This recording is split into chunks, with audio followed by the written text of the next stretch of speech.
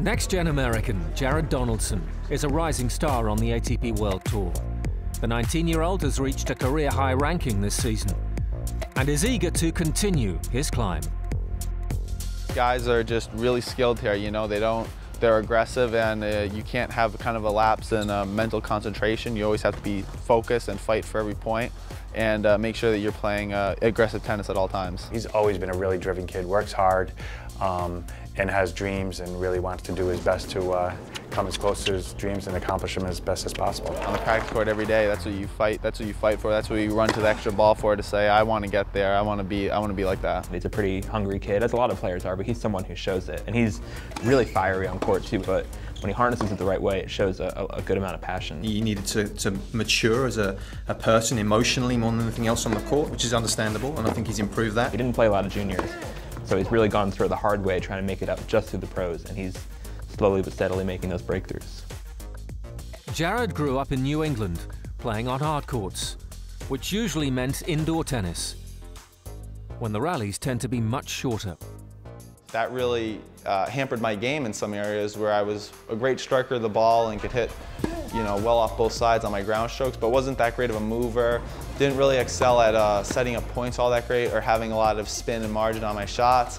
And what better way to get that than playing on clay, which is basically all Argentina has. So at 14 years of age, Jared and his dad moved to train in Argentina.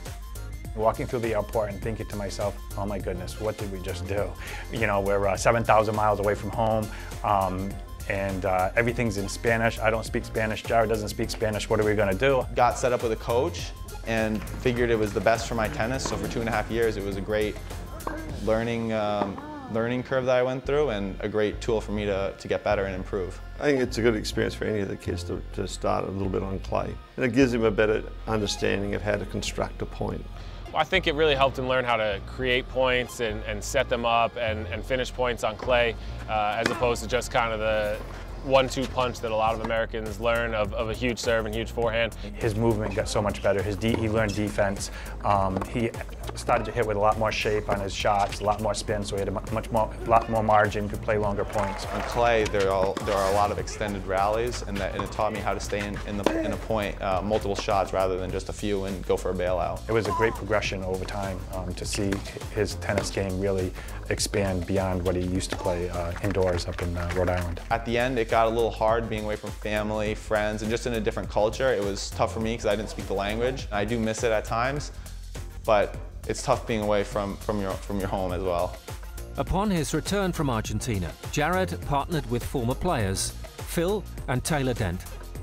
I just remember uh, going through Googling different players and seeing what they were up to, and uh, all of a sudden, Phil Dent, the serve doctor, popped up, and I said, hmm, the serve doctor. So we made the decision to come out to California, and, and train with Taylor and Phil at, the, at, at, their academy. They looked at Jared's serve and I looked at Phil and I said, so do you think we need to add more spin? And he said, mate, we got to change everything.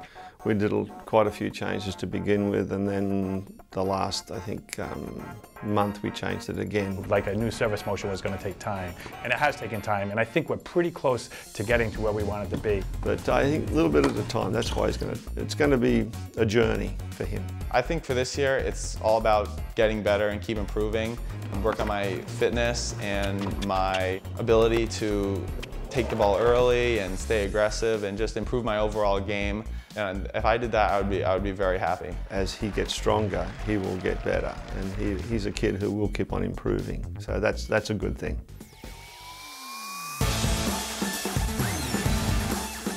Next week on ATP World Tour Uncovered, the big one in the Big Apple. The 2016 US Open gets underway. And we've an exclusive with an American player making waves, Steve Johnson. Don't forget to log on to ATPWorldTour.com and chat with us on the ATP's official social network, MyATP, powered by Vixlet, and on Facebook, Twitter, and Instagram. See you next week.